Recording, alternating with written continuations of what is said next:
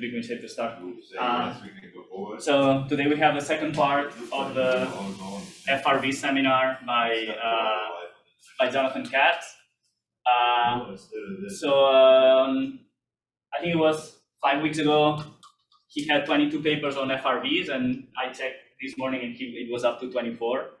Uh, and I think those numbers are comparable to the number of repeating bursts that some FRB repeaters show. So Well, I'm, I'm starting to get okay, no, curious. there are actually two papers out, and each of which have more than a thousand bursts from a single repeater. And maybe they're twenty-two repeaters, but they have a lot more bursts. Yeah, so I, well, I, I was just starting to wonder if it's worth doing a temporal analysis to see if there's any characteristic timescale between the, your paper output or if they follow one over F. I, uh, so yeah, Response cycle is correlated with the number of Republicans in Congress. So yeah, please go ahead. Okay, so this leads to the basic questions. Some of them repeat, some of them don't. And um, most of them don't. Um, But on the other hand, you get a lot more bursts than the ones that do repeat. So are they fundamentally different phenomena? Superficially, they're roughly the same. The bursts are similar, although repeaters have some characteristic, characteristics that are not, have not been evidently seen in non-repeaters, but they're seen in the same part of the spectrum. Well, mostly that's because the same part of the spectrum that radio telescopes operate in, or at least that's a plausible explanation. The time scales are roughly similar. Um, they have, you know, some of them are polarized, some of them aren't. That applies to both categories. Um, they appear to be at sort of cosmological or what I call near cosmological distances, the redshifts of from several tenths to probably one or two. Some identified with much closer sources. So there's a lot of qualitative similarity. Um, a few differences, something that's called the sad trombone effect, which is seen in repeaters and not non-repeaters, but maybe it varies from individual source to individual source, and it's not, you know, like saying something is produces visible light and something else produces X-rays. It's not as dramatic as that. So the question you want to ask is, are they different phenomena? In other words, if you, do you need, you know, are there two different kinds of things going on here? Is there something that repeats very frequently and something that may be catastrophic event? Okay, so let's see where we can go with that. Yes, okay, well, the arrow doesn't seem to be working. Oh, that, okay, let's see. That might be the, okay, clicked out of Okay, so now it should, Okay, fine. arrow should work. So the um, obvious question is, do are non-repeaters simply repeaters that repeat very infrequently? Already there, there'd be something dramatic, because repeaters that have been studied at even at the level of detection sensitivity we have now um, have repeated quite well. In some cases, I was just mentioning more than a thousand times. That's actually, I think, in a single paper but with repetition rates of order once per minute over a several hour or a few hour observing interval. Non-repeaters clearly do not do that. The longest stretch of observation I was able to find of looking at a non-repeater, or apparent non-repeater, they should be called apparent non-repeaters, um, is uh, some tens of hours, and there were no repetitions. So that already leads one to suspect that there's something fundamentally different. Okay, repeater bursts drift, bursts of repeaters drift to lower frequency. It's called the sad trombone effect. And that has not been seen in non-repeaters. It's sort of qualitative, but it's distinctive if you look at it. If you try to estimate duty factors, that's the fraction of the time they're on. Of course, that depends on detection threshold. They appear to differ by orders of magnitude to the best you can estimate them. So for example, if something has a burst a few milliseconds long, and it's a thousand, and it's observed for ten thousand seconds, that puts you um, a few milliseconds divided by ten, it's, you know, something times ten to the minus eight, actually on the low side of ten to the minus eight. Um, repeaters, well, milliseconds every minute. So, but again, you don't know if these are two ends of a continuous spectrum. So there's no very clear answer to this. Um, there have been a long history in astronomy of things that were originally categorized together that, that turn out to be totally different. For example, supernovae, once upon a time, supernovae were called novae, it was new stars. Um, and then only when 1885, one was seen in the Andromeda galaxy, people realized it had to be a lot more luminous than the comparatively common phenomenon called novae. The first soft gamma repeater was called a gamma ray burst. You go back to the paper, and it a gamma ray burst. Well, the distinction wasn't made. Pretty soon it was realized, not that soon actually, that the spectra were significantly different, and of course that one category repeated and the others didn't. Gamma ray bursts themselves are divided into long and short. Originally, it was just a question of whether they lasted more than two seconds or less than two seconds. Now they're believed to be fundamentally different physical phenomena. And supernovae, well, it's not just two categories. They started out as type 1 and type 2, and they got divided and divided and divided, and now there's this whole zoo of, of subtypes.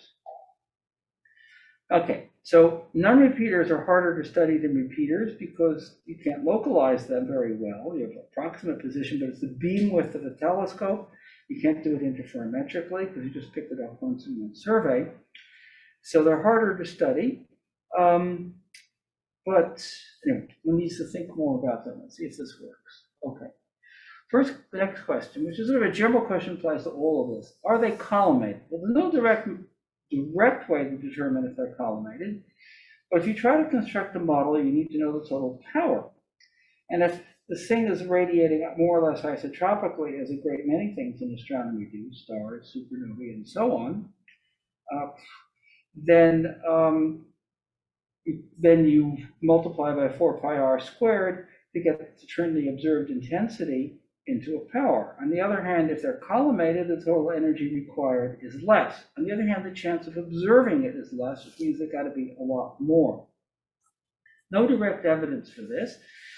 Um, collimation is very plausible because physical processes people talk about involve relative radiation by relativistic particles, um, which is intrinsically collimated to one over basically one over the Lorentz factor if it's a collimated beam of particles, but um, you don't have any direct evidence.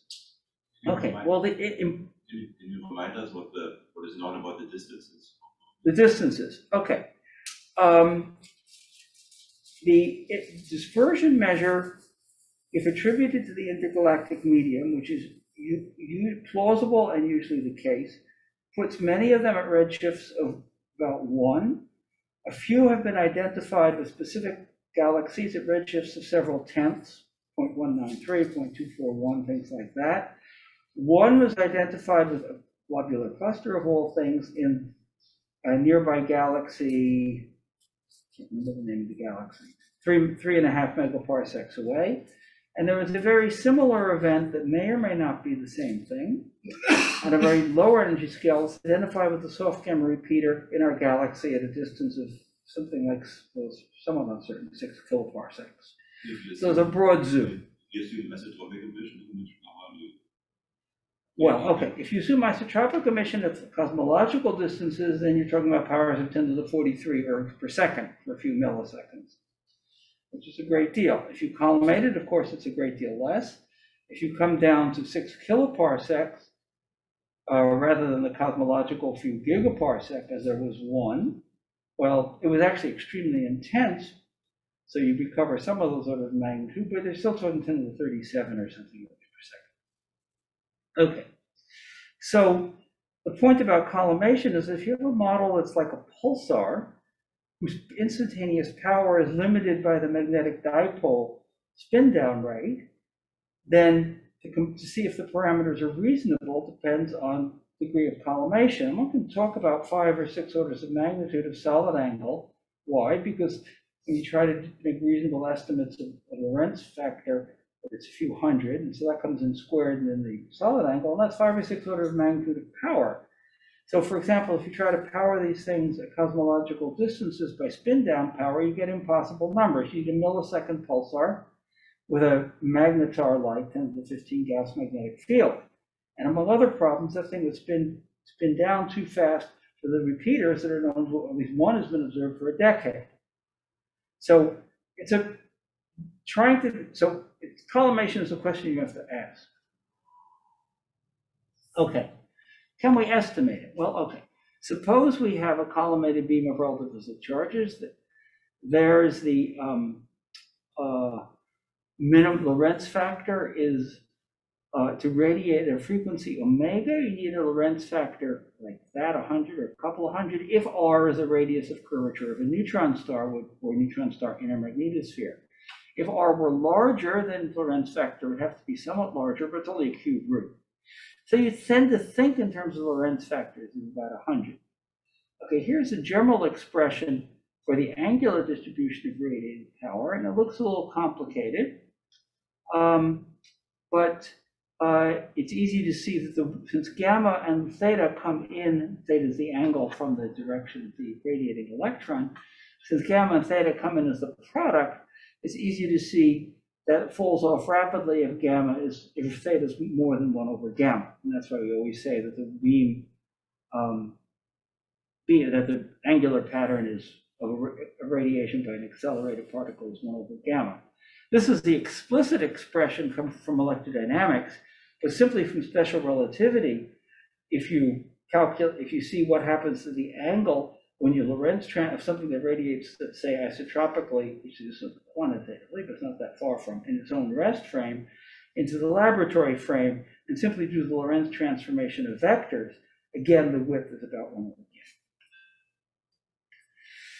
Okay, so could one estimate this um, uh, statistically from the distribution of intensities of an individual burst? But let's, you know, a simple model, individual burst Earth.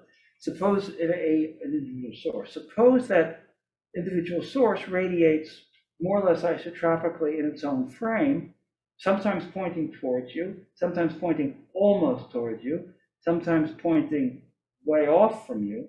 What would be the distribution of intensities or energies that you would see? Well, it turns out to be this. Weird thing, you say, where does that funny spike come from? Spike doesn't make much difference, but it comes from the fact that in this last equation, you've got a term in the azimuthal angle, phi, and as a result, this function is stationary at a certain combination of phi and theta, and because it's stationary, you particularly there are particularly many events satisfying that condition. And that gives you that little spike, which actually has very little, it's, it's so strange when you look at it and say, where did that come from? But it actually has uh, very little practical significance. So if you could measure the distribution of intensities for emi- source emitting in random directions, since as far as the source is concerned, it doesn't know where we are, um, uh, you could in principle determine the degree of collimation comparing to this frequency distribution, which it turns out is almost, you see, I give it the three values of the Lorentz factor, it's almost independent of the Lorentz factor. So let's think about the environments these may uh, occur in.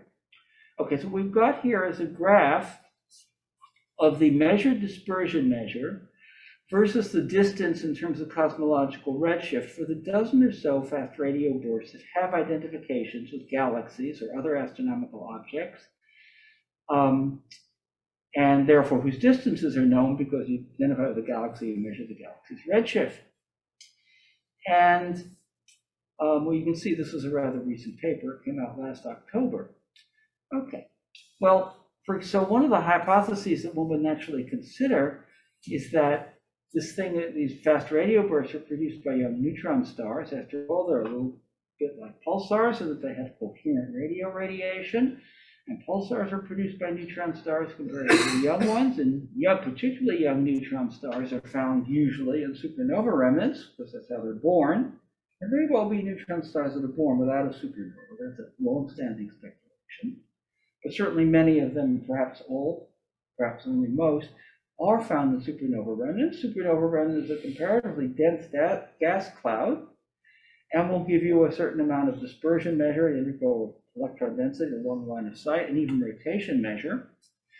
Okay, so what we have here is a graph that shows the uh, dispersion measure versus um, distance. And there's a small contribution from our galaxy. That's the stuff off of those green lines on the left-hand side. You expect a near proportionality from the intergalactic medium. Now, I say near proportionality because at redshifts less than one, it's essentially proportional. Of course, a large redshift cosmology is more complicated. Um, and so you see a diagonal swath that's um, you know, extending upward to the right with a dashed line in the center, which is a cosmological model.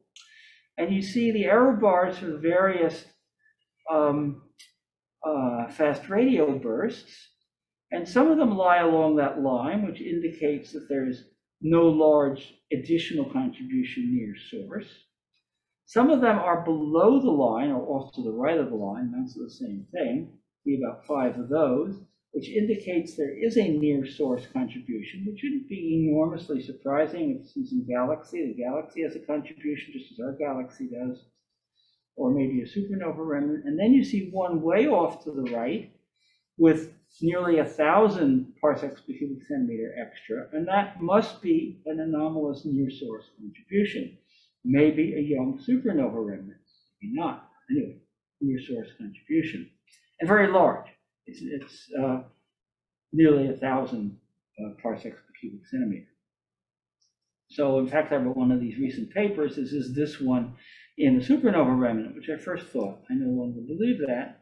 And if I don't run out of time, I'll have more to say about it. Okay, so this, again, recent discovery, you can see how recent it is. Um, so here measures of the, I'll show you more data on this thing that just came in last week. Um, dispersion measure versus time, and there's a lot of scatter, and if, maybe there's a descending trend, but the descending trend just depends on the single point to the left of the graph. I guess this is where it's in this room. And On the window. So, Yeah, okay. So, I Guess I can point this out. So, but the descending trend just depends on a single point. And I'll show you more at the very end, more data it just came out, probably ten months ago, but just came out on arXiv last week about this.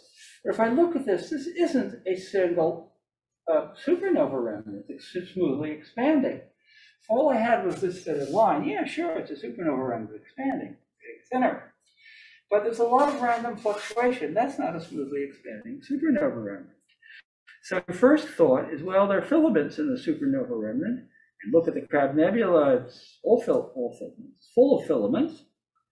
Um, and so maybe they move horizontally across the line of sight. Okay, well, that's, you know, easy to say, it doesn't really explain anything. I think it's- It explains why it doesn't do anything simple. It doesn't explain what's actually going on. How much NH you need for? Sorry? How much column density do you need for getting the, Well, it's about um, 40 uh, parsecs per cubic centimeter, or about 10 to the uh, 20 per- electrons per square centimeter. It's not totally crazy for filaments in remnant today. But you'll see some things at the very end about that. Okay, but then we also discover that so this, the rotation measure, that's the integral of the line of sight of the magnetic component of the magnetic field times the electron density as it rotates the plane of polarization of linearly polarized light, light, yeah, well, light, in this case, radio waves, um, as not only varied by quite a bit, but, and this is all over a little less than a year, but it even changed sign. I'll show you more from this later, but this is really only, um, well, you can see how recent this paper is. Um, came out last week, ten days ago. Um, and, but you see it's even changed signs. So this is clearly something very disordered. It's not a smooth structure that's just gradually expanding here. There's the definition of rotation measure, aside from the physical constants. So if it is filaments, they must have opposite directions of component magnetic field along the line of sight. Okay, let's try to estimate the magnetic field, not about this one, but about the first repeater to be discovered and the one in which except there's been the most data, or at least maybe until recently. And this has been observed where you can see it's, it was first discovered in 2012, so it's been observed for nearly 10 years, which tells you already something about the lifetime of this object. That will be able to live at least 10 years, probably more because there's no obvious trend in its properties. Okay, well, you can define an density-weighted average magnetic field. That's simply the ratio of the rotation measure to the dispersion measure. This is the integral of B times N along the length, line of sight.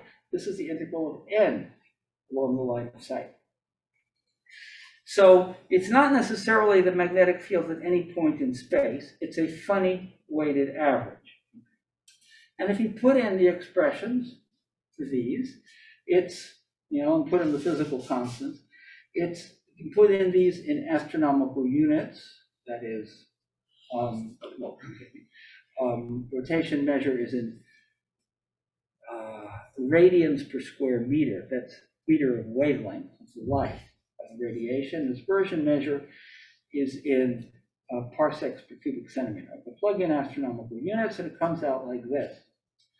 Okay, well, so so how, what, how do you know what these, what the magnetic field in the fluctuating region is, and how do you know what the dispersion measure in the fluctuating region is? Remember, most of the dispersion measure is probably intergalactic.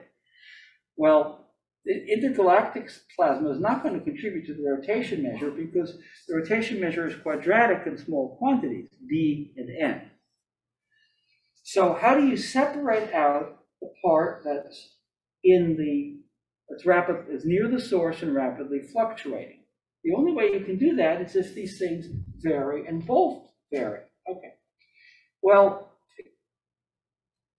the, was only until 10 days ago, there was only one measurement of a change in dispersion measure at all. All other attempts to measure changes in dispersion measure of repeating fast radio bursts came up with nothing. But in this one, which as I said, has been observed for nearly a decade, there's one measurement, two measurements, in which there is a change in delta T.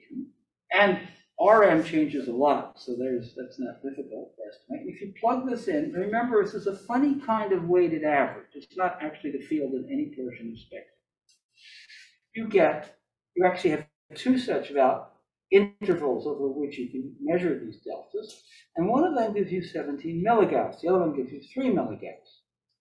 Now, you could have a, if you had a magnetic field that was constant, but large, this wouldn't, it wouldn't give you anything here at all, because this is delta Rm. If it were constant, Rm didn't change. So this is basic, should be thought of as a lower bound. Well, 17 milligauss is an, the other measurement gives you 3 milligauss, again, a lower bounds.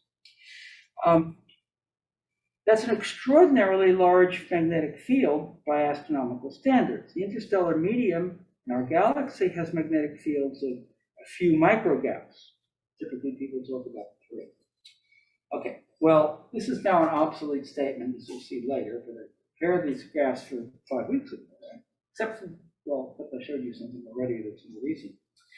Um, but this actually is in the paper that came out sometime in the last year. Um, but there's evidence of these really extraordinary fields, which tells you a compact region with high energy density.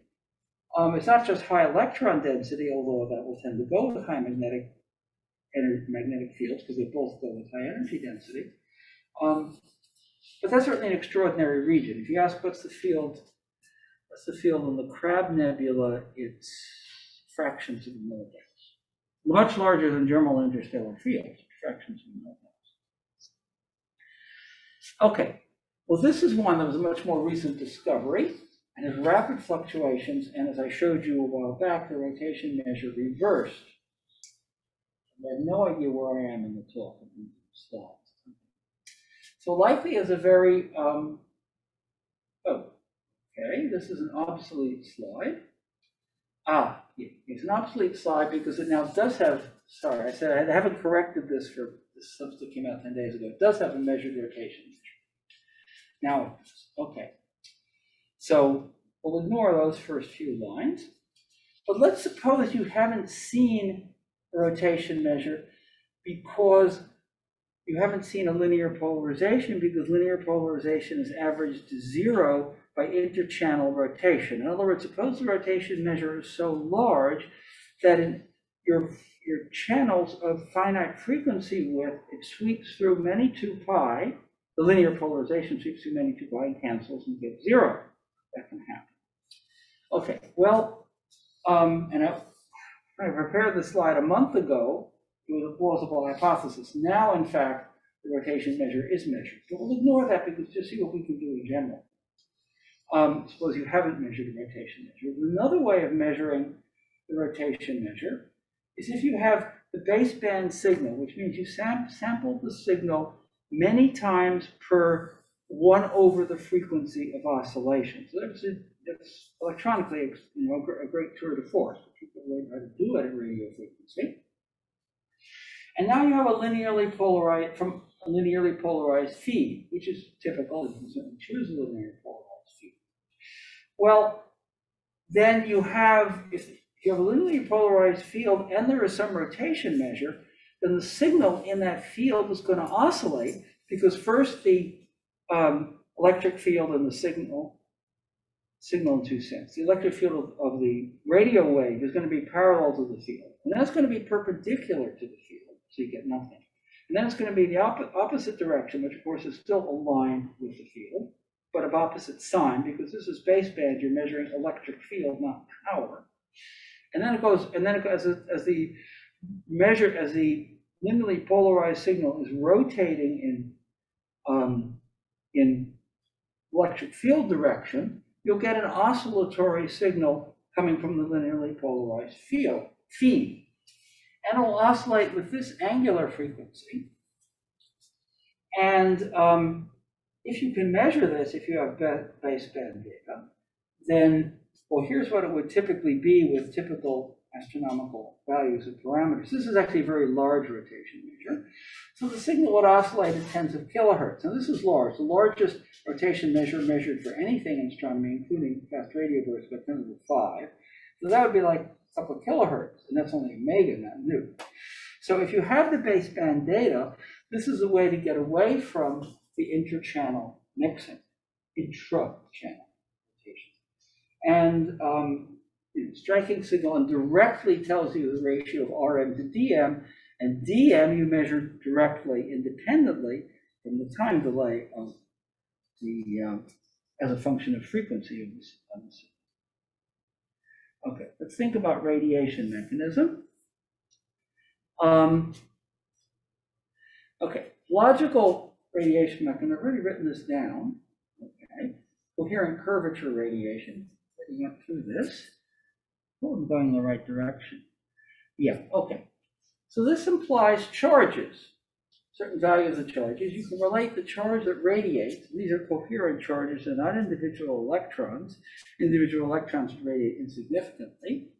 Um, and you can relate the Q to the angular intensity radiated, which of course is what you measure. Okay, so what do you get? Well, for, this is the fast radio burst that's identified with a soft gamma repeater in our galaxy at something like six kiloparsecs. And this is a nominal cosmological fast radio burst. And, okay, so you can plug that in. And so their effective radiating charges are extraordinary. Coulombs, many coulombs at cosmological distance. All right, well, what that immediately tells you something that the particle energies have to be high, because if the particle energies were not high, these coherent charge bunches would tear themselves apart by electrostatic repulsion. Okay, well, not so simple. If the Lorentz factor is higher, then the spectrum extends to a higher um, uh, frequency, namely a cube of the Lorentz factor. And this, you get this extra factor on the left, which reduces the Q by, in fact, it's this ratio of Lorentz factor squared, which is, um, could be quite small, but um, now, the same, same observed flux spectrum now extending to higher frequency, we don't know what this factor is. On the other hand, um, if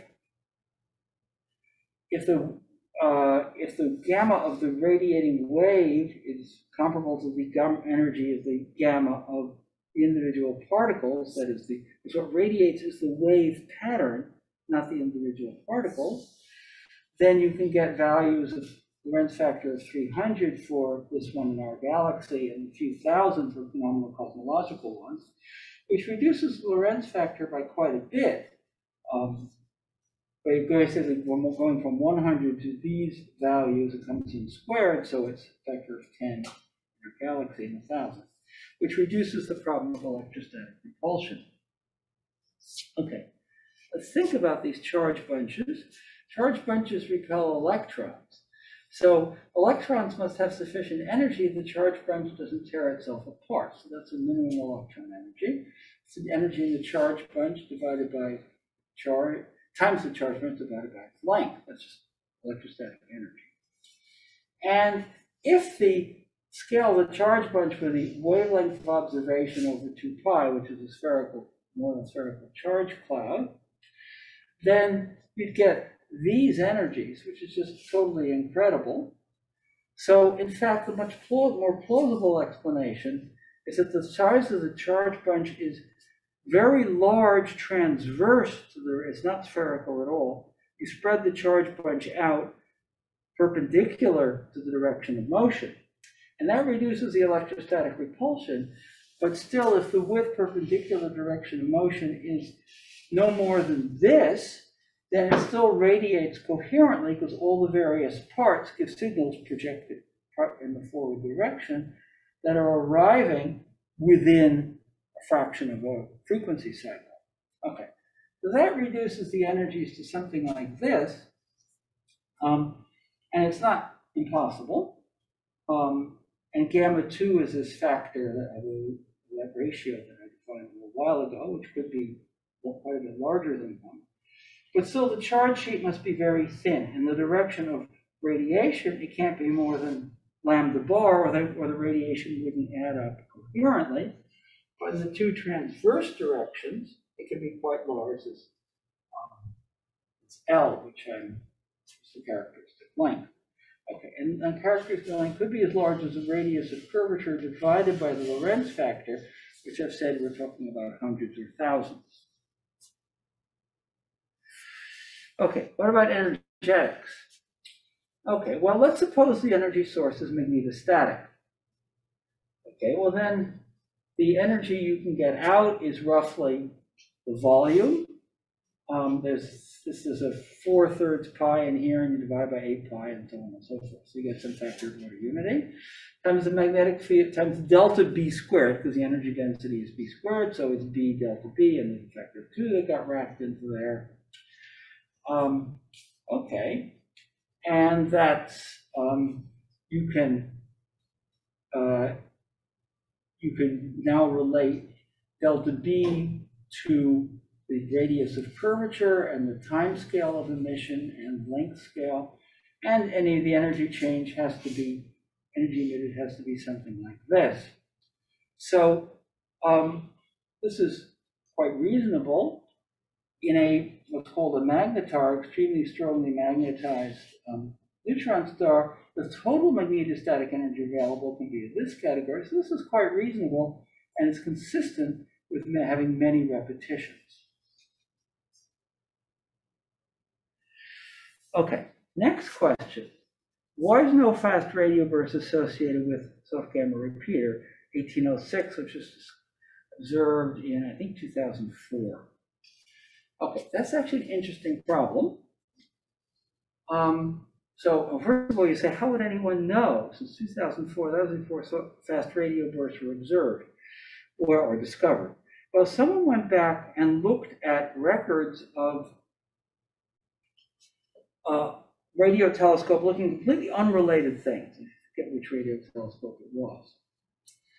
And there was, and, but it was, but the, but this source was above the horizon when this fast, when the soft gamma repeater, which of course radio telescopes weren't connected with soft gamma repeaters in those days, was something completely unrelated, was observing. So it was above the horizon. In fact, it was 35 and a half degrees away from where the radio telescope was pointing. Okay. But radio tele, all telescopes have side lobes, which means they accept some radiation that's outside the beam.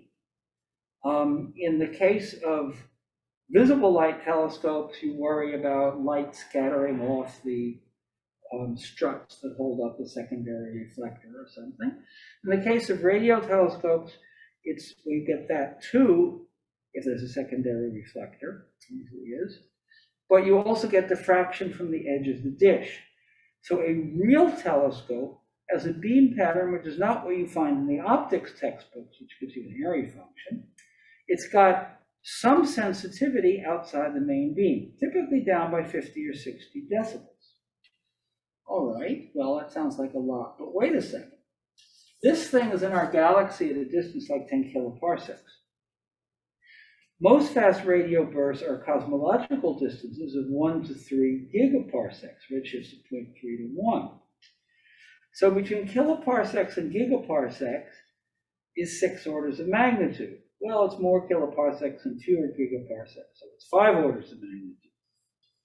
Which means, or five and a half orders of magnitude, which means that if an ordinary fast radio burst were associated with this soft gamma repeater,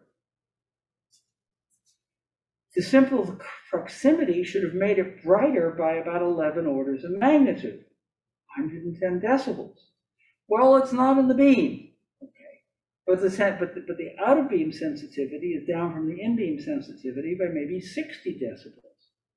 So it should have been 50 decibels brighter than a typical cosmological fast radio burst as actually observed. 50 decibels brighter, well, your first reaction is, hey, wait a second. These people sort of, you know, they just saturate the receiver and they, and they ignored the data. And they, you ask the people who made the observation, no, there was no shut off because the receiver was saturated. So there clearly wasn't a fast radio burst associated with this thing. As I said, it's 100,000 times or 300,000 times closer than the cosmological one. And we know how far away this is. So it's sitting on a supernova remnant in our galaxy that's studied by all the conventional methods of astronomy. Okay, well, there's an explanation. Okay, the second explanation, oh, the fast radio burst just doesn't point towards towards us, is very narrowly collimated, and we're outside its beam, requires that its beam is doesn't have side lobes at the 50 decibel down level, which is conceivable. But there's actually a, a, a more basic explanation. This thing gave off about 10 to the 47 ergs per second in soft gamma rays. Well, if you put that much energy into a neutron star magnetosphere, it fills with equilibrium pair plasma. Because, because our pro- it doesn't really matter how you put the energy in, because our processes that turn two particles into three, namely three photon pair annihilation, namely radiative Compton scattering, which is a Compton scattering and an additional photon is emitted, and they're down from the principal processes by one power of the fine structure constant. That's only two orders of magnitude. So if you put enough energy into a magnetosphere or any region of space, it fills with equilibrium pair photon plasma. Thermodynamic equilibrium at temperatures of probably hundreds of kilovolts, this much energy. And in fact, there's a fairly sharp threshold for this, which is interesting. The point is, if you fill the space with equilibrium pair photon plasma, which means a million grams per centimeter of pairs and of rest energy corresponding to the photons, um, then you're not going to accelerate relativistic particles, you're not going to propagate radio radiation. Okay, so let me finish up with um, things that were discovered, reported. Um, well, you can see, this was a little bit earlier this month. Okay. So actually, I already showed the bottom part of this. And here's a fast radio burst, which was repeater, which was discovered, um, well, you can see 1905, 20, so a couple of years, almost three years ago. A lot more data, and we'll see if we got the latest version of the. Okay. So here are measurements of dispersion measure versus time. This is over almost a year, March 21 to January this year. And two different instruments, uh, Green Bank and Parkes, mostly these are from Parkes. So of course, it's scattered in time because, you know, sometimes you have observing time, sometimes you don't. Sometimes the repeater's active and sometimes it isn't.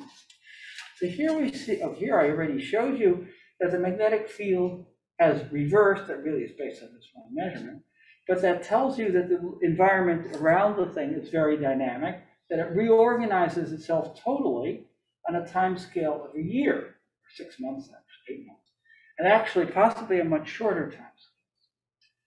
Um, this is circular polarization, and the error bars big, I don't have anything to say about it. Now, here's the dispersion measure, and what I really want to call your attention to, this vertical stripe is actually, although you can't really tell from this graph, is all within a single day. It means all within a few hours because um, things move across the sky. You can observe them sometimes for five hours. You can't observe them for 24 hours. And you see the dispersion measure is jumping around. And if the last slides made it into the talk, we'll see. By, okay, it's about 40 parsecs per cubic centimeter, or 10 to the 20 electrons per square centimeter, um, within these few hours. And jumping around turns out really interesting consequences um, on a very a much shorter time scales than that. Now, this is revolutionary in this business because until a couple of years ago, no one had observed any change in dispersion measure. And then when I told you a few slides ago about the estimate of 17 milligauss for a different source, different repeater, that was based on actually two changes in dispersion measure. That was based, the 17 milligauss was based on one change from two, between two epochs. And there was another number, three milligauss, based on another such change. But that was all there was. Here we have, it turns out, um, this, the, this paper had reported 113 bursts, of which 68 were in one observing session some night, day, doesn't have to be one several hour period. Um, and you can see that the dispersion measure measurements, whose accuracy is such that the error bars would be invisible, um, smaller than the symbols, uh, are scattered. So it varies very rapidly, and I hope we have some more data. Yes, okay, good, thank you. So this that was added to the latest version of the talk, because I didn't know about this a month ago, because this was only reported 10 days ago. Okay, so what we have here, if I, if I plotted, I told you, in one observing session, um, they've observed 68 bursts, and that means there's 67 intervals. They're not 67 points in this graph, because some of them are off to the right-hand side. There's most of them, okay. So here we have change in dispersion measure in the standard units, and although the full range is 40, the actual different, none of the differences between one event and the next exceed 30. And as a function of time, and since I was sitting there um, going through these, and, the, and it was originally reported in terms of Julian days rather than seconds, I left it in days. Um, but there are 100,000, 86,400, call it 100,000 seconds in a day. So 10 to the minus 3 um, days is 86.4 seconds. Okay, so I plotted these points, except some. And what you see is there's no correlation. In other words, you're as likely to have a large change in dispersion measure, 10 or even 20, between bursts that are tens of seconds apart as between bursts that are, some out there, hours apart, or at least many minutes the whole observing session is a few hours. So, um, okay. Let me point out a couple of really weird points. Okay, down here is one dot. There are actually two points. What would be the error bars on the y-axis? Are they Very, okay, the error, oh yeah, the error bars on the y-axis are typically a few tenths. Okay. So if one were to plot them, and of course are two of them, so you know, throw in the square root of two like they teach you in freshman physics. It'd be bare, the error bars would be barely bigger than, than points. Yeah, no, it's a good, good question. Should have put one error bar in. Um, this was done rather hastily. Okay. Um, so you can see that there's no correlation. It tells you if there's a natural time scale, it's shorter than the shortest such interval, which tells you that this this local region that has contributes thir- 20 or 30 or 40 parsecs per cubic centimeter is chaotic on a very short timescale. It's rearranging itself. How short a timescale? Okay, so let me talk about these points over here. This point, there's actually two points, zero and zero. No change in DM, same time to a tiny fraction of, of, of the width of a point down. Those are probably not separate bursts, those are probably um, substructure of an individual burst. So it doesn't tell you anything. Then there's a point over here where that does appear, nominally appear to have a measured difference in DM. It's 2.8 plus or minus, plus or minus 0.6, if I remember correctly. Each of them is 0.4. So four- I'll put put them as four each. And now, if that's the case, then those two bursts are separated by 35 milliseconds. Well, that would be extraordinary, but you know, one worries about that. One suspects this is really substructure of an individual burst and somehow by the fitting routine, fitted slightly different dispersion measures to the two, to the substructure. So you probably should ignore that. Okay. But if you look at points like this and this, they're separated by as little as nine seconds. I think that's this one. Uh, 10 to the minus four days. And there's a couple more that are separated by slightly more. So that tells you that there's no, that this is an upper bound on the characteristic timescale of what's going on in this region. Um, and that is truly extraordinary. This region, which contributes a quite significant amount of dispersion measure, um, completely rearranges itself in timescales of order 10 seconds. That means it's got to be small. These are different regions. Sorry? These are different regions. I don't quite understand. So they're not different regions. We say the one. Well, you could imagine, a different hypothesis is that the, what we call FRB, whatever it is, has multiple regions that radiate independently. And uh, um, this one goes off and then that one goes off, and that is not excluded empirically, but if you think about any conceivable model, you have some active object, a neutron star, black hole with stuff swirling around it. And it's hard to imagine that a single identified fast radio burst has several independent such objects. It's not explicitly excluded empirically, but it'd be very hard to understand. Okay, time scale. Well, suppose we have a region of size r. What I really like to do is constrain the mass. So this is Dremel expression. This is just, you know, Kepler orbit, although flipped up, Kepler upside down, um, assuming it's gravitationally bound. Um, okay, well, that's a characteristic time scale. Can we estimate R? Because you could estimate R, we know what T is. We know that T is no more than a order 10 seconds. Uh, then we'd get GM. Okay, but how do we know what R is? We can't directly determine it. If we knew how fast things could move, we'd have a number, but that would, you could simply, if you, if that, you wouldn't be adding new information by saying R, V is R over T, because you don't know what V is. Okay, but maybe we will someday. Turns out when you put in the numbers, that the density required, remember, we know how much the dispersion measures change. Um, the density required is high enough that the dispersion may not strictly follow the 1 over omega squared that you're used to, because that's really only the first term in an expansion of powers of 1 over omega squared. If you could measure the next term, then you would know by comparing the, the omega minus 2 term to the omega minus 4 term, they're only the even power. Um, then you'd be able to estimate the ratio of the plasma frequency to the observing frequency, and from that you'd know the electron density, and then from the no, measured DM, if you could estimate NE, you'd get all. Okay. Um, that would be very interesting because what I'd like to do is to measure the mass. In other words, my pet hypothesis is that these things, repeating fast radio bursts, are in fact produced by accretion disks around massive intermediate mass, probably, black holes, as opposed to neutron star magnetospheres. There are lots of reasons, which I actually didn't make it into this talk, why the problem with the neutron star magnetosphere hypothesis for repeating fast radio bursts.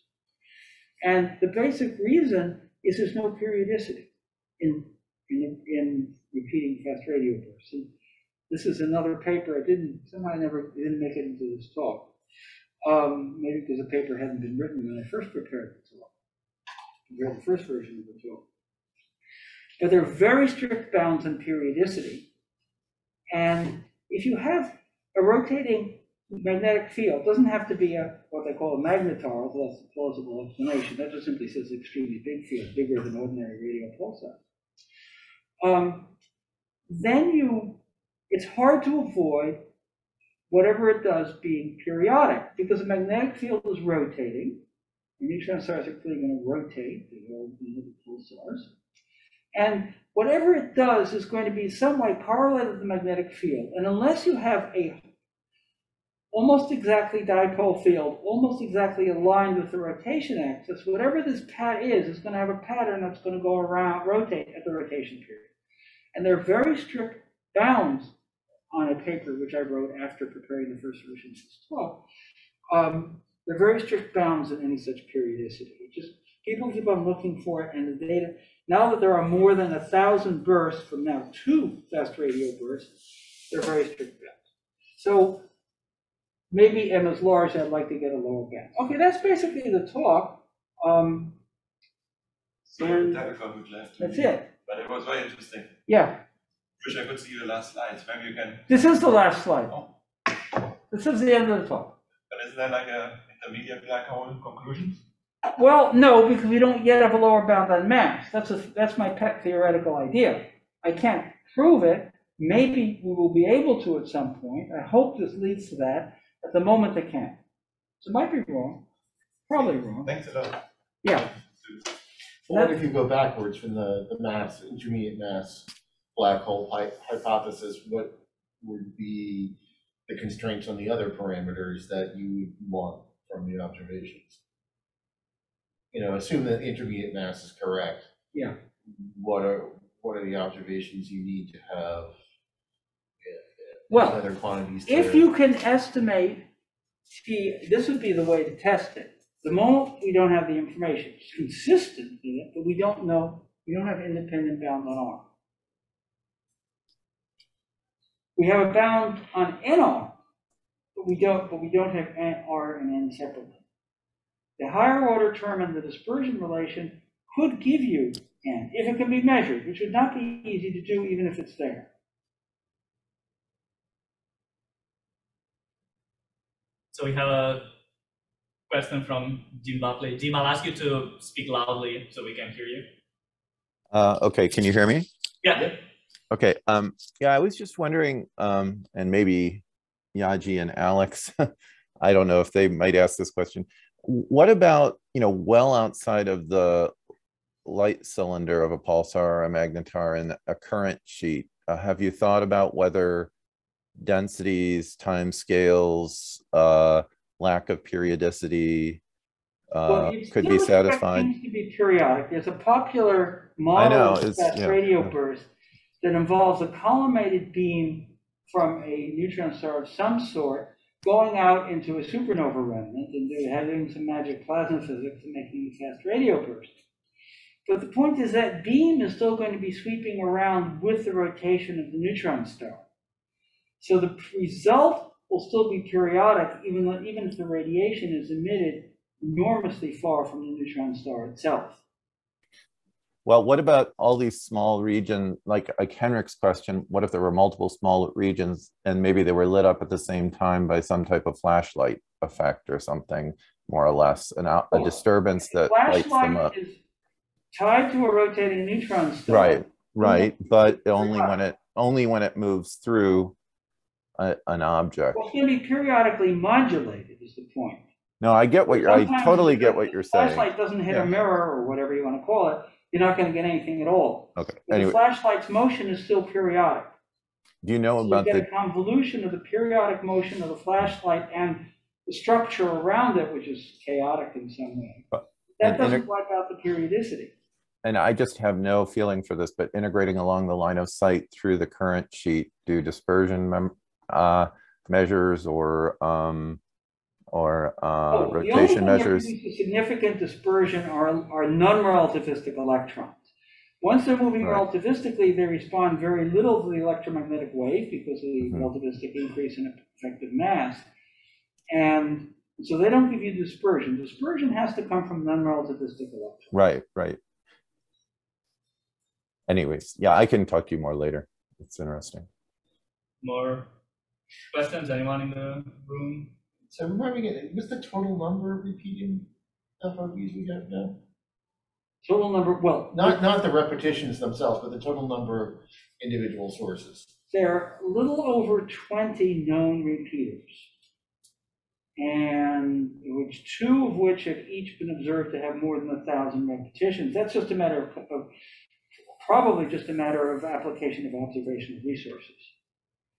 Um, there are several hundred apparent that have been observed. I think it's still in three digits now.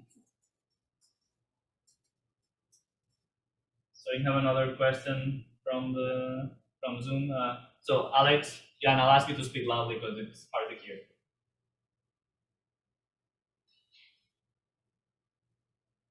Alex, we don't hear you at all if you are speaking.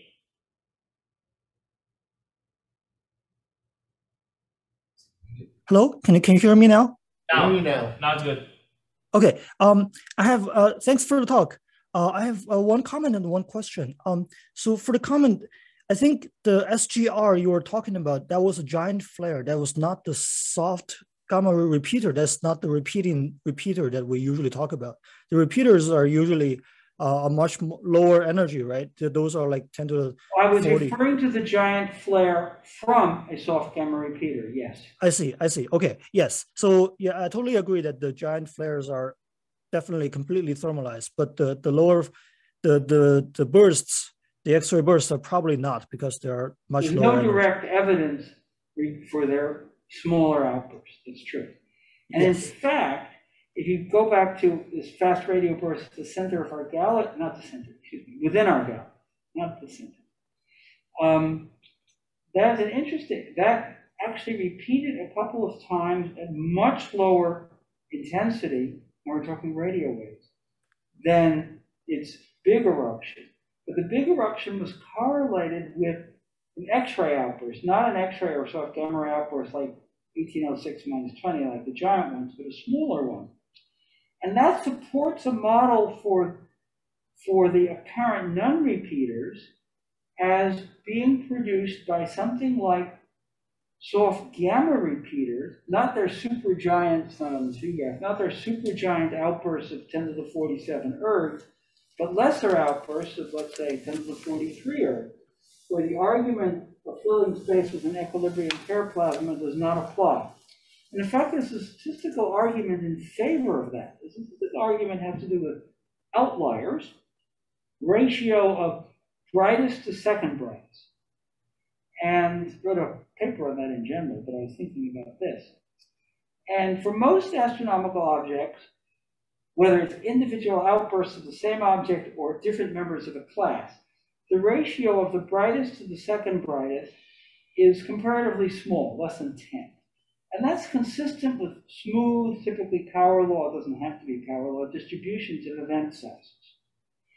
But for soft gamma repeaters, that ratio is not a few or 10. That ratio is several orders of magnitude, which tells you that the extreme outbursts are, the outliers, as I call them, are intrinsically different from the small outbursts. They're not an extrapolation of a power law distribution any other smooth distribution. And that is true of this soft gamma repeater in our galaxy. It had a giant outburst of millions of Janskys and two smaller outbursts of about 100 Janskys. So the ratio there is more than 10,000. And that's an interesting characteristic, has nothing to do with physics, it's purely statistical, that these are objects, soft gamma repeaters, and this, is fast radio burst in our galaxy, in which the outliers are qualitatively different from the lesser members, lesser events. And that's certainly a strong reason to believe, very qualitative reason, but a strong reason to believe that the apparent non-repeaters are like the, uh, are like two things, like the fast radio burst in our galaxy, which isn't quite bright enough to have been at cosmological, to be detected at cosmological distances, but if we're at intermediate distance, you'd certainly call it an apparent non-repeater. But that they're also like soft gamma repeaters, and that these are all classes of objects that have extreme outliers, whose distribution of event sizes is not smooth, whose ratio of brightest to second brightest is several orders of magnitude rather than something in the range 1 to 10. Very qualitative argument, but it's, but it's striking because when I made a list of outliers, I said, you know, when are outliers different? Something like the title of the paper. Um, it turns out that for almost all distribution astronomical objects, the outliers do not appear to be qualitatively different. You know, something obvious things like the brightness of the, you know, the stars in the, in the sky, or the, the active galactic nuclei, and so on. And they're all statistically consistent with being part of the same distribution, which is obviously got to be for stars in the sky. Um, but there are a few, the only, in fact, classes of events where this is not the case. Um, they have to be repeating events for it to be meaningful at all, are soft gamma repeaters, apparently non-repeating fast radio bursts. Well, there's really only one where there's a second event, and that's the one in our galaxy. And that strongly suggests that, that, these are connected. But I had a question. So how, how much do you, so you said that these fast changes in the dispersion measurement, they only happen for one relatively distant FRB, They've or they only have been been measured measured? for Yeah, this they- one. Yes.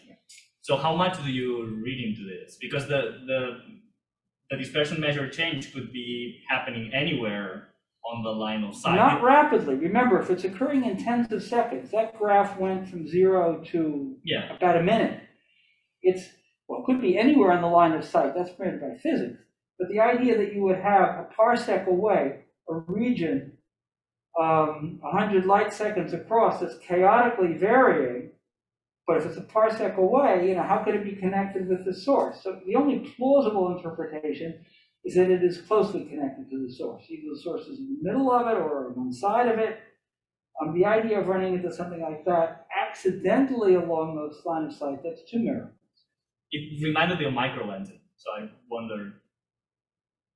But it, first of all, dispersion measure is not Yeah, I know, I know, intensive, so yeah, it cannot be microlensing. And the point about microlensing is you search an enormous number of objects line, whose lines of sight each pass an enormous number of masses. Mm. And microlensing is a very small effect. It just happens to be focusing, which is why it's observable. Um, here, you, here it's got to be associated with a single source. So it has to be local to that source. That's the only plausible interpretation. Before you said it has to be this very thin pancake that it is. Oh, that was in the radiation process, and that was to avoid excessive electrostatic repulsion of the electrons that are in this charged bunch. Because that's completely unrelated to the conversation we were just having. But it's a little pancake and. It's gotta be a pancake to, re- to make the electrostatic repulsion. Each one has a different rotation measure? No, no, no, no, no. That's a single fast radio burst. There's no connection between that and this conversation about the fluctuations. But don't they have to go together? You have the same pancake and somehow the rotation measure changes? Yeah, but this pancake is occurring within a neutron star magnetosphere, dimensions 10 to the 6 centimeters. The rotation measure is coming from some surrounding stuff, which might be a supernova remnant a parsec across, let's say 12 orders of magnitude bigger. It might be a dense cloud 10 to the 10 centimeters, that's pretty small astronomically, it's still four orders of magnitude bigger. So They're connected. Completely different connection, completely different length scale. So in other words, as far as the dispersion measure and rotation measure are concerned, the actual radiation mechanism is, is from a point. Now, I was looking at what goes on inside that not quite point. It comes from one pancake, but then you have different regions in the. Oh, but no, but the, this pancake I'm talking about is relativistic particles moving towards us on the scale of a neutron star magnetosphere. The dispersion rotation measure is occurring even at the tightest on scales of 10 to the 10 centimeters, thousands of times greater in a non-relativistic plasma. still don't understand scenario. You Well, you have a compact source, Yeah. the pancake is, remember I said the radius of curvature divided by the Lorentz factor, so the pancake is ten to the four centimeters wide. You know, hundred meters, maybe less. Okay, and it's moving on a radius of curvature of ten kilometers. So, so that's effect, from the point of view of ten to the ten centimeters, that's a point source. And then on the time scale, on the scale of ten to the ten or ten to the eleven centimeters, it's being, it's being dispersed and its polarization is being changed by a non-relativistic plasma. Whose, whose dimension is That several once- orders of magnitude bigger. that once and for all of it, or how do you get the different plasma at different times? Oh, well, that's re, that ten to the ten centimeter stuff is rearranging itself on time scales of many seconds. Which time scale was it? On Sorry? Seconds. Ten seconds or less, right? Well, mul- yeah, Yeah, because, about. yeah, ten seconds or less, because the dispersion measure varies, we know, in ten seconds. Seems more likely that it somehow something is moving relative to each other rather than stuff rearranging so quickly. Well, but this, this, this is a fairly energetic event, therefore it must be tied to a mass. Maybe a neutron star, maybe a black hole. And so that's, you know, sets your frame of reference. And then the dispersion has to be occurring, produced by non-relativistic electrons. And how big is that region in which it's occurring? Well, we know it's decorrelated on time scale of 10 seconds, so it can't be more than 10 light seconds. And it's probably one or two orders of magnitude less. But it's still very large compared to this relativistic pancake that's actually making the radiation, which is 100 meters across, more or less. Unless you have some light lighthouse effect, something kind of sweeps and illuminates regions. Well, but it's still got to come to us in order for us to observe it. Just a question, R cubed by GM? Well, this is just Kep, you know, Kepler's law. I flipped it over, so, and I simply said that the time, if this is this region in which the dispersion measure is varied, what's the characteristic time of that region if it is gravitationally bound? This is just dimensional analysis. It's the frequency of a, the period divided by two pi of a Kepler orbit. And so we'd have a bound on that. If we could measure that, we would have a bound or a value for m, which would really be very nice. That could tell us if the intermediate black hole is right or wrong. And so we don't yet have a bound on n, r. We have nr that directly measured. We don't have them separately, and I was suggesting the higher order term in the plasma dispersion expression as a way to determine n. And it turns out that that if you try to, if you, okay, R is already constrained simply by these 10 seconds. And that tells you that, and given this, that N is got, is got to be at least something like 10 to the 10. Turns out that the critical plasma frequency at the rate, at the frequency of observation was 3 gigahertz, so that 10 to the 11. So in other words, if the plasma density is any higher than that, the, ra- the waves just don't go through, just don't go through it at all. So you are within striking range of the, of the region in which the, in which you have to consider the higher order terms in the electron density, and which means there's some hope of measuring those higher order or at least detecting. them. And that's, you know, that would require a very careful analysis of the dispersion, which these people haven't looked for. Um, you know, they just report this, the results that came out of their fitting. Um, but they should look for it because it might be there.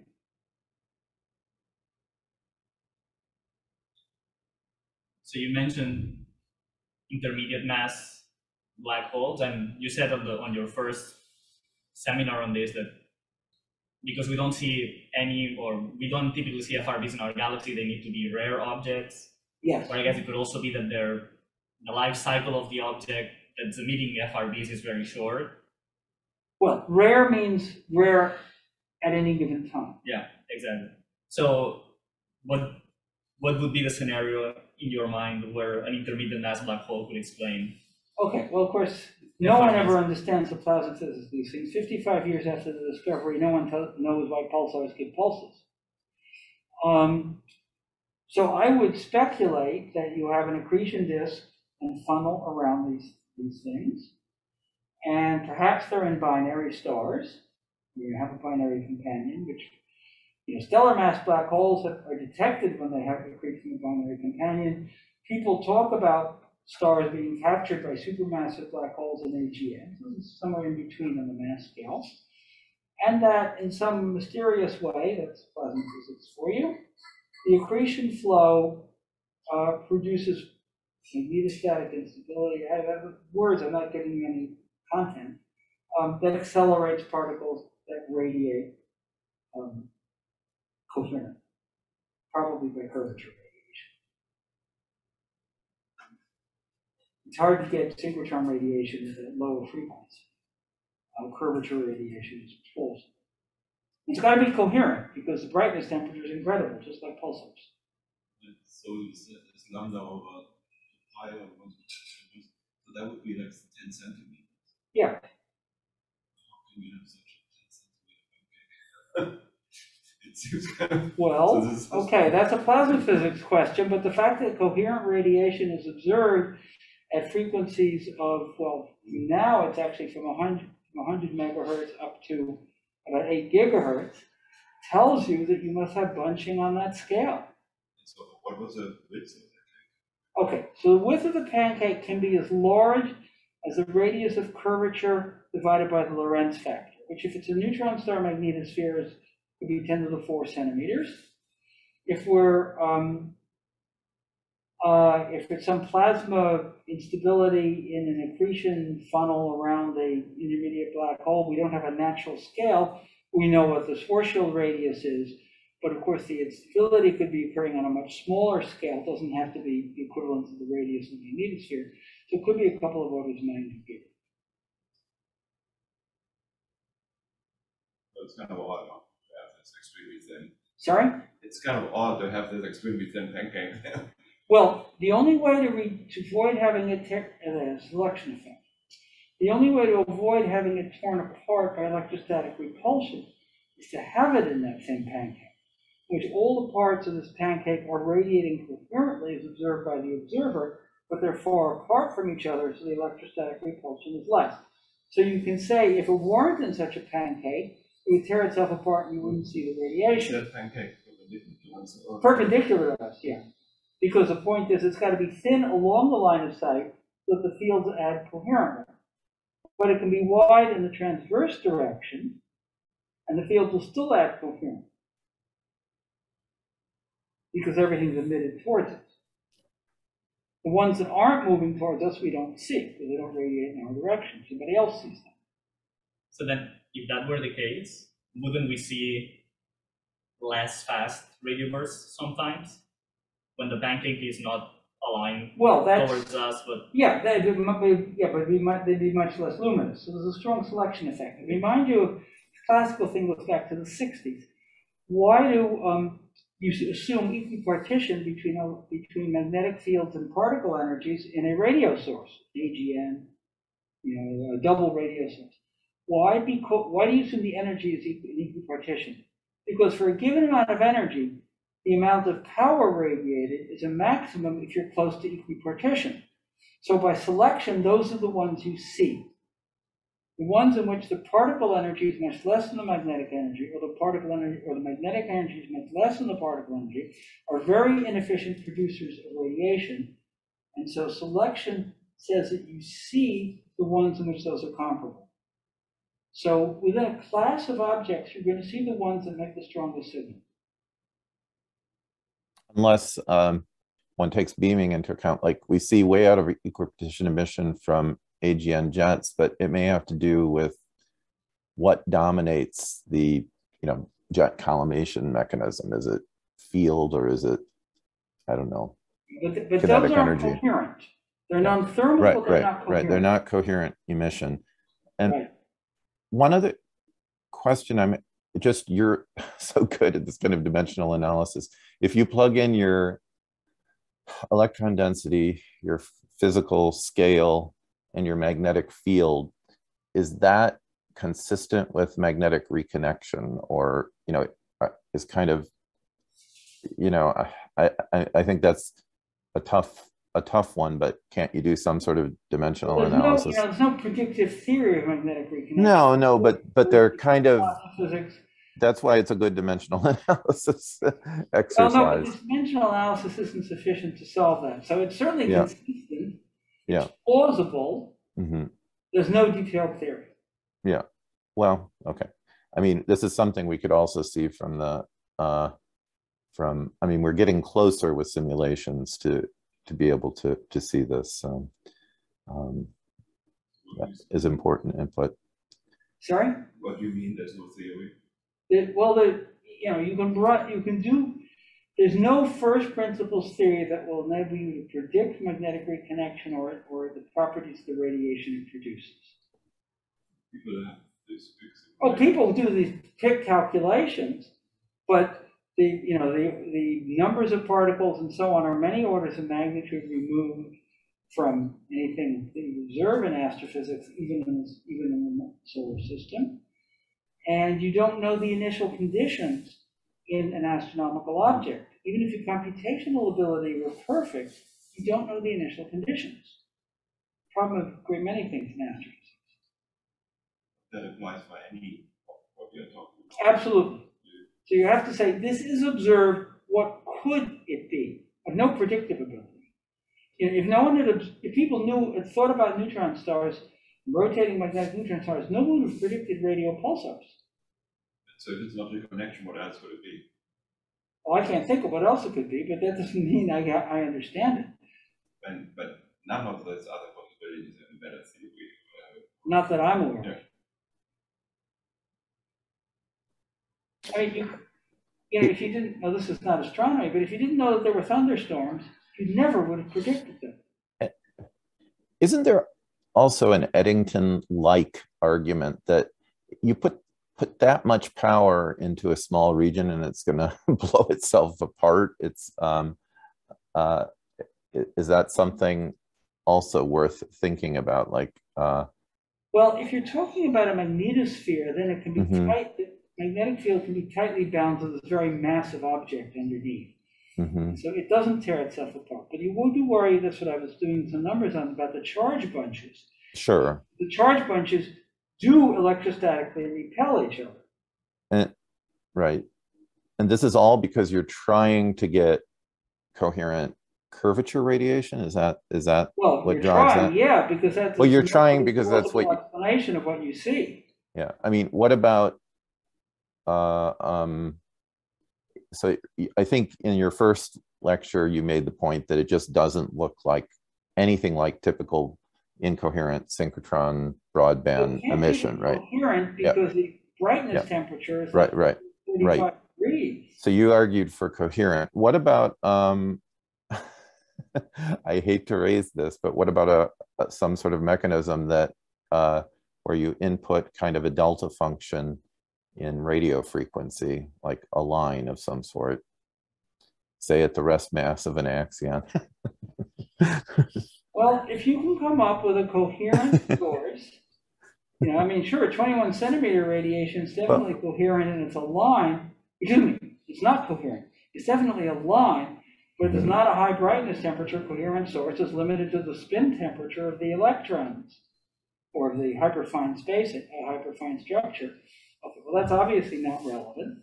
Um, if you have Lasers. energetic particles, they naturally produce a brightness temperature, which is their energy, you know, divided by the Boltzmann constant.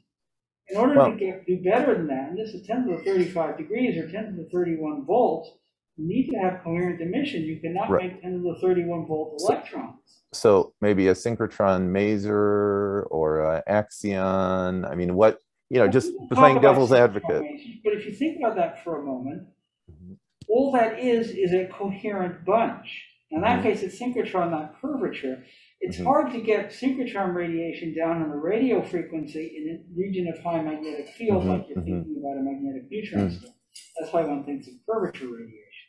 Because Mm-hmm. synchrotron radiation in a neutron star magnetic field is X-rays or gamma rays, not radio waves. Where do you get the explicit? we have some suspicion. Well, you have an accelerating electric field and, and actually special relativistically, each accelerated bunch, it tends to lose on the pancake. somewhere in the, inside the light cylinder, somewhere. Very likely in the inner magnetosphere, or very plausibly in the inner magnetosphere. But why would that, what do you think they perpendicular to us? Just because we. Well, there's seen a sele- selection effect. If it's not perpendicular to us, then the radiation's not in our direction, and we wouldn't see it. Someone else would see it, be perpendicular to that observer. Presume- with the, the had also to move to us? Well, it's got to be moving along the line of sight, or we won't be in its radiation pattern. If it's along, moving in somebody else's direction, then it's that other observer's radiation pattern. Averaged over the whole thing, it's, you know, over all possible directions of, over time, probably all observers are roughly equally likely to see it. They see it when there's a pancake moving in their direction. And is it moving in a, like following a curved magnetic field line? And it Well, that's one has to assume that what you're seeing is curvature radiation. yes. And you only. You only see it when it's pointing When towards it's you the because relativistic emission is beamed. At other times, it's pointing to some other observer and that other observer. But you don't think it's intrinsically anisotropic? I mean, the radiation is anisotropic, Right. but the source itself, you're not. The source itself, average over all the radiation that ever emits, is probably roughly isotropic. I mean, other- if it's a neutron star magnetosphere, they're going to be preferred directions along the magnetic axis, away from the magnetic axis. But that's sort of an order of unity thing. But at any moment, it's radiating in some beam, in some narrow beam. But over time, those beams will fall over most of full time. Yeah, but you're not thinking of it like a gamma ray burst, where it is likely beamed along one direction. Well, That's a single event. If you take all the event. gamma ray bursts in the universe, or all the gamma ray bursts, Yeah. Or be a- roughly A like- source where you have a preferred plane for the masing happens.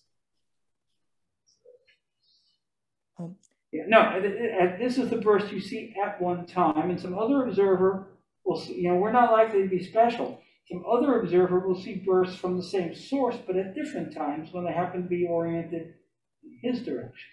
So for these repeaters, what do you think that means about the duty cycle? Okay, far as- the duty cycle is much larger than the duty cycle we see. Um, but at any time, the radiation only illuminates a four, small fraction of four pi, so the instantaneous power is much less than what's called the isotropic equivalent power, which is what you get if you look at the intensity that you see, the dp d omega, and multiply by four to pi times the square of the distance. Right, but you have to boost it up for the fact that you, other observers are seeing it at other times. But that's. Right, but Right. instantaneously, it's, it's radi, it's, it's producing much less. Yeah, the all observer duty factor is much larger than the duty factor you see. But it's Um, not four pi. But at any time, it's radiating to a tiny fraction of four pi. So you're seeing the right mean power, but during a burst, you're seeing a much higher power than the iso, than the total power. We would infer a much higher power than the total power, because during a burst, it's emitting narrowly collimated radiation. Now, it may always be emitting that radiation, but usually it's pointing in some other narrow direction. Second, the magnetic field in the pancake is that. Well, it's gotta be along the pancake, because the charges can only move along the magnetic field. how strong is it? Excuse me, you might say along. It's gotta be perpendicular to the pancake, along the axis of the pancake, because charges can only move along the magnetic field, they can't move transversely. And also, did you have a limit? on that? Sorry? Did you have some magnitude magnitude? No, you can't, because it's curvature radiation is independent of the magnitude of the field, except the field can't be too small. Um, but all it depends on is the radius of curvature of the field. So how, what would you get? Well, Okay, I, okay, well, guesses, okay. If it's a neutron star, then you guess neutron star radius. If it's a intermediate black hole, mass black hole, then you guess the Schwarzschild radius of the intermediate mass black hole. What's the mass? I don't know. Could be anything from stellar masses up to, well, okay, it's not likely to be supermassive because we know that one of them occurred in a globular cluster out in the arms of a galaxy. So it's not the thing that you see at the center of a galaxy. you plot the required magnetic field as function Sorry? if you plot the required magnetic field as function of distance of radius away, like how, what, what do you get for a neutron star for intermediate black hole? Well, the required magnetic field depends on what you assume to be the energy of the particles. The required magnetic field is very is quite small because it's only sufficient to guide the electrons. So it's orders of magnitude less than typical neutron star magnetic fields. So off the top of my head, I can't tell you if it's 10 to the 6 Gauss or 10 to the 8 Gauss. It's not required to be 10 to the 12. But it- Isn't there some energy density that goes into like the stress energy tensor that has to be sufficient to resist the It has to effects be- of It has the, to have sufficient stress yeah, that it's not torn apart. by Exactly. Yes, exactly. I haven't put in the numbers on that.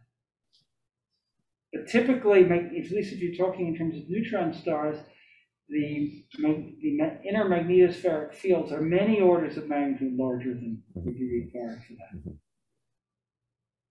yeah, I'm just a little bit, I just wonder a little bit, just the effects of putting, I mean, th- these are really high, large numbers of, uh, you you know, power per unit, uh, volume and, and electron densities and charges and, I mean, it seems like a stress analysis as well, you know, a dimensional stress analysis would be interesting. Well, you, you certainly could do that, and but if you think, Yeah. I can assure you that if you're thinking in terms of, if you're comparing to neutron star, magnetic neutron star magnetic fields, they're much, much less. I haven't actually put in the numbers because it's. Yeah. Um, Yeah, yeah, it seems like the field values you're coming up with, I mean, they actually sound quite a bit like interjet AGN kind of field values. So uh, for whatever reason, I'm not sure, AGN but fields are much, are much, much less than neutron, than magnetic neutron star fields. yeah, yeah, I mean, AGN field, I mean, so that these numbers of milligauss kind of fields are about, Those, well, that's not in the emission region, that's along the line of oh, that was, sorry, that was along the line of sight. Okay, yeah, yeah, yeah, I'm Yeah, confusing Those this. are certainly interesting, yeah, and those, you know, Right, right. maybe, well, uh, my But recollection of AGN numbers is kilogauss, not milligauss. No, no. The point is, uh, the milligauss is, is large compared to ordinary interstellar fields. So by if you do- Standards, it's a very dense region. No, it's it's really anomalously small in the emission regions that give you the high energy electrons that give you the synchrotron and inverse Compton and stuff. It's got to be like Okay, well, uh, that's a point. much higher energy density region than this thing along. No, the but that's but those but but those are like uh milligauss kind of or tens of milligauss. I mean, they're not much of a fraction of a Gauss ever, I think. So, anyways, I mean that just kind of argues that that's the right region.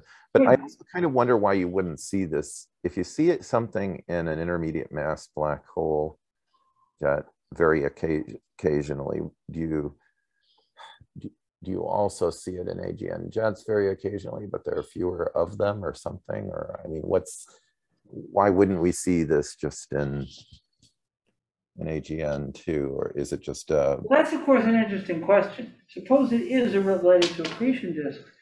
Why don't we see something like this in stellar mass black holes with accretion disks? So exist, we see them as. right, right, both extremes? Yeah, which are supermassive black holes with patient is. Um, and I sort of have two explanations. One is that the stellar mass black holes that we see are very luminous. A- The supermassive black holes that we see in AGN are very luminous. That means in both cases there's a large flux of thermal photons that will interact with any electrons you try to accelerate by Compton scattering Mhm. and will take energy away from those accelerated electrons and Right. prevent their being accelerated.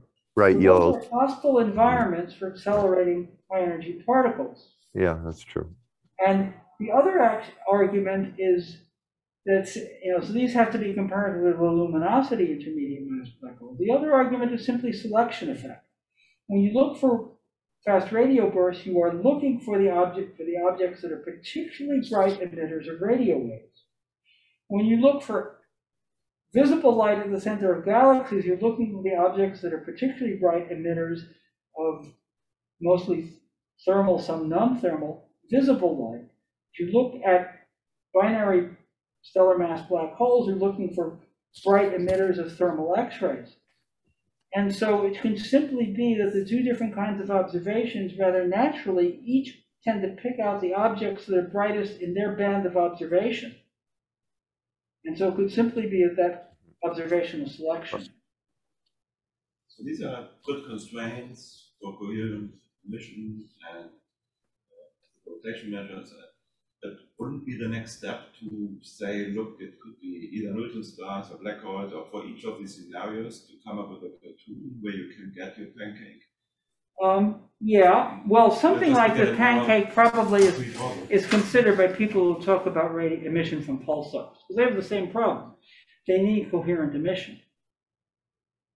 Yeah, I, I think I kind of get what Henrik's saying. Couldn't, could, even if it's not proven to be the correct answer, wouldn't it be nice to construct one detailed scenario that does what you want? Like, you know, through, for example, through simulations and so on.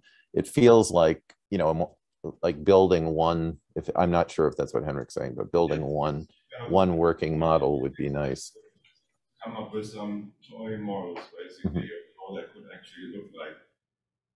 Other than saying, oh, this is a really exotic pancake and we don't know how it's. Yeah, made. well, that- and I've given some numbers, and of course, more in the relevant paper, of the properties this pancake has to have. Yeah. But wouldn't it be good to start speculating with a pancake? Like trying to build models for how that looks? Well, you have to understand plasma physics better than I, or Well- I think anyone else understands. But with Yaji and Alex now, I think we've got some state of the art people that could do, you know, build a scenario. I mean, it's, I think that's a neat, Well, I would say, you know, if, if you can't understand why radio Yeah, pulsars emit radio pulses, um, and, you know, which are much better understood objects, you know what the magnetic fields are quantitatively, for example. If you can't explain that, you're really gonna have a hard time explaining these things, where we're still arguing about what the source object is. And no one's gonna deny that the crab pulsars are rotating magnetic neutron star and tell you even what the magnetic moment is. Uh, but here, you just don't know. You know, we're still arguing about is it a neutron star or isn't it a neutron star? And if so, what could the magnetic field be? And what's the radiation mechanism? no, I agree. It's a good, very great exercise in logic to hone in on something. But I, I think, yeah, this is a good next step. I think Alex was going to say something. I see he's unmuted. So, Yeah, I was just trying to say that uh, at least at least the current popular model can can can um, at least explain most of the things that you raised. For example, um, because we have shown that you can launch a shock, which provides this pancake. Um, the low magnetic field uh, just means that the pancake emits very very far away from the pulsar or, or magnetar. Uh, so the magnetic field at the emission region is actually pretty low. Um, it also is not a beam that that produces the shock. It's just a, an ejecta, and the ejecta doesn't is not a constant thing. An ejecta um, doesn't have to be rotationally um, uh, correlated with with rotation phase. Is uh, you just launch an ejecta like. Uh, uh, solar mass away, like like the solar mass ejection. Solar mass ejection doesn't uh, correlate with uh, with with rotation phase. So so we will have. I think that that kind of naturally fits into this um, uh, all the puzzles together.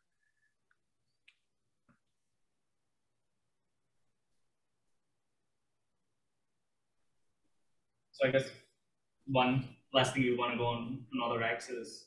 Uh, so what observations do you think would help constrain these these models? Would it be more radio observation, or would these pancakes ever be expected to emit to be visible in I don't know No, optical? because they're radiating curvature radiation, So they're not only- vi- you know, which is gigahertz, hundred megahertz, ten gigahertz.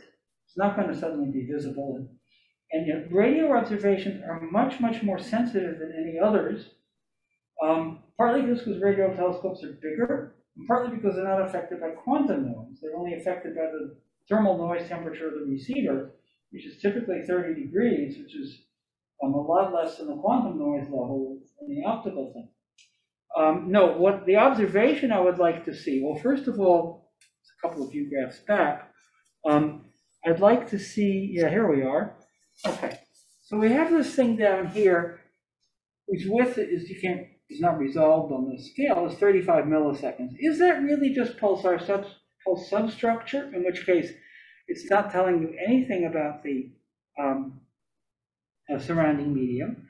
Or really, are there bur- bursts that are that close together that have different dispersion?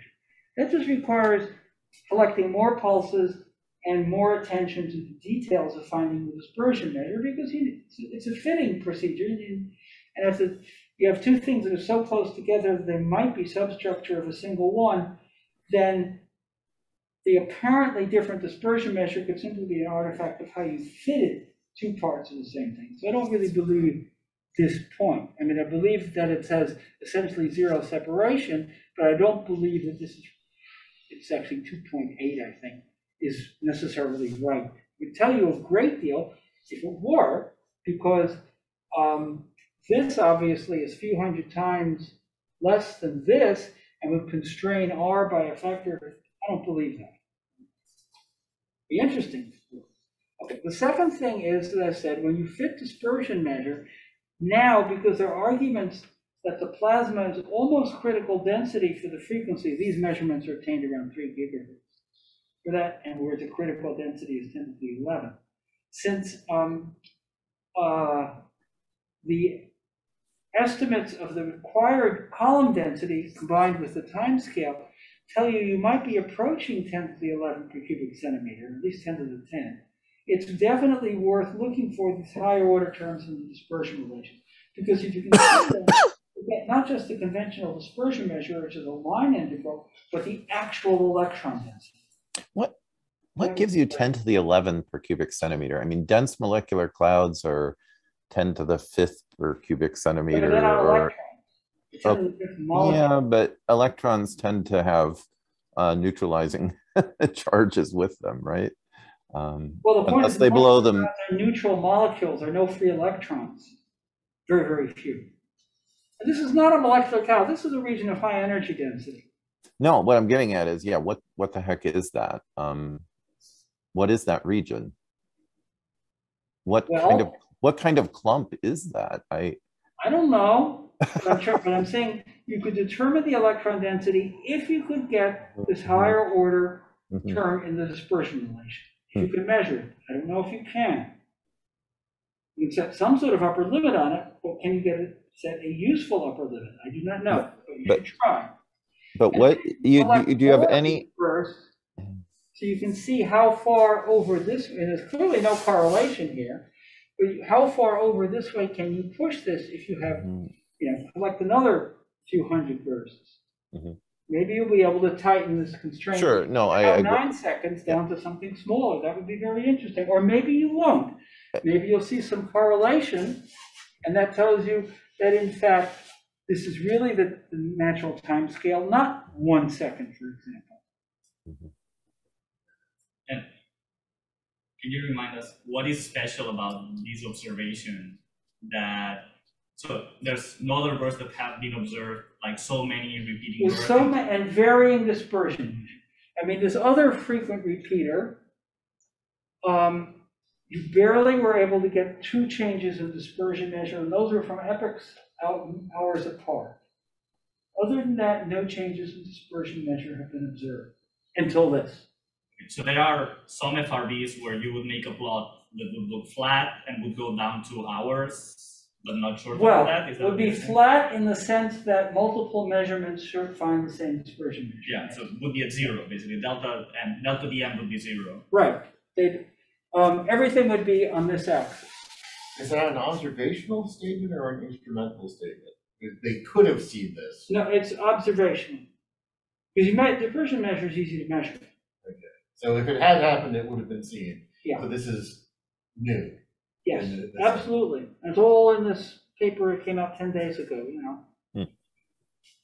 This month, Oh, what, so was this a, this combination that was tying Green Bank to the Parkes or what, what, which one is this? Which, which instrument is this again? sorry, oh, mostly they were Parkes. Parkes, okay.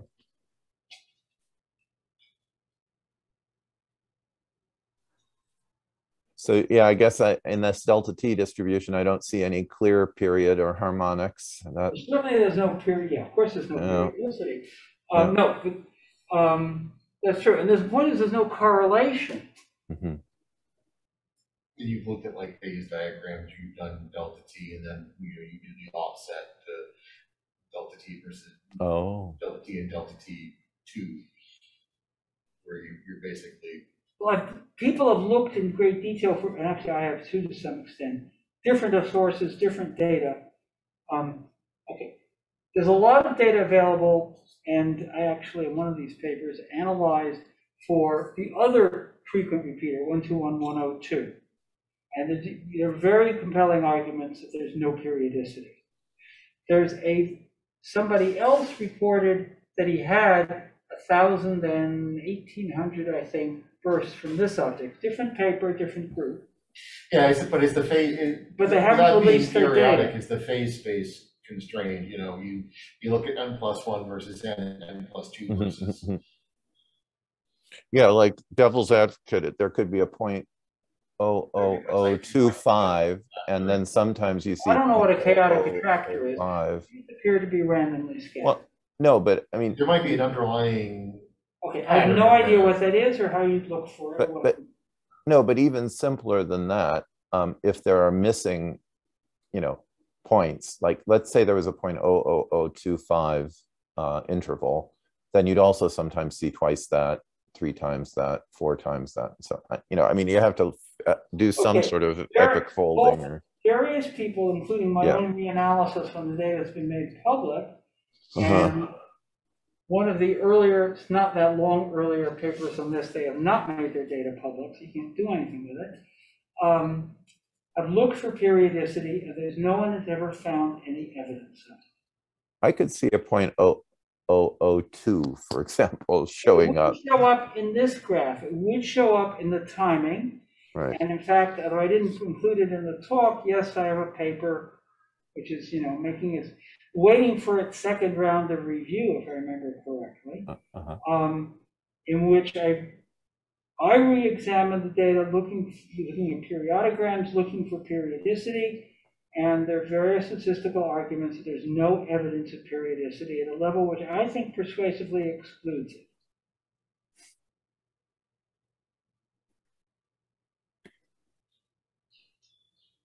Well, I think we've had a very Yes. Interesting discussion. I Yeah. think we should be respectful of Jonathan's time, uh, because we've taken almost two hours of, of his Friday morning. Uh, is there any last minute question that cannot wait till next time we run into each other? yeah, we'll get it all again next week with Vicky. Yeah. That's, uh, For a different perspective. Well, thanks, thanks a lot. Thanks, Jonathan. Okay. Thanks a lot. Super interesting.